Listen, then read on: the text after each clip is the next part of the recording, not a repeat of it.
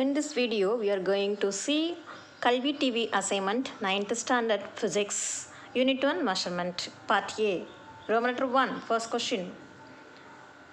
Unit of luminous intensity is dash. Options A Kelvin, B candela, C ampere, D mole. The correct answer is option B candela. Second question light year is dash. Options A 94.6 into 10 to the power 15 meter, B 9.46 into 10 to the power 15 millimeter, C 94.6 into 10 to the power minus 15 meter, D 9.46 into 10 to the power 15 meter.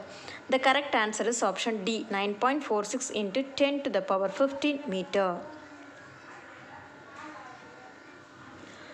Third question absolute zero temperature is options A 0 Kelvin, B 0 degree Celsius, C 0 degree Fahrenheit, D 100 degree Celsius. The correct answer is option A 0 Kelvin. Fourth question least count of screw gauges dash. Options A 0.01 millimeter, B 0.1 millimeter, C 1.0 millimeter, D 0.01 centimeter. The correct answer is option A 0.01 millimeter. Fifth question What is the name of the balance commonly used in jewelry shops? Options A common balance, B spring balance, C digital balance, D physical balance. The correct answer is option C digital balance. Part B, letter 2, short answer. Question number 1, define astronomical unit.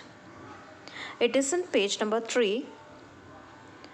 It is the mean distance of the center of the sun from the center of the earth. 1 AU is equal to 1.496 into 10 to the power 11 meter. Second question, define least count. It is in page number 5. The smallest length which can be measured by meter scale is called least count.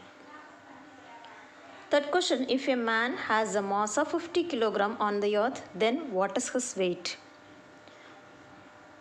Weight W is equal to M into G. Here, mass M is equal to 50 kg.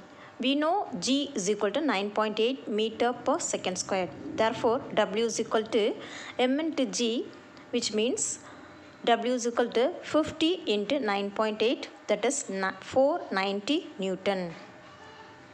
Therefore, weight is equal to 490 Newton. Part C, write in detail. Question number 1, write any 5 rules in writing SI units and their symbols. It is in page number 4 in your book. There are 10 rules in your book. You have to write any 5 rules only.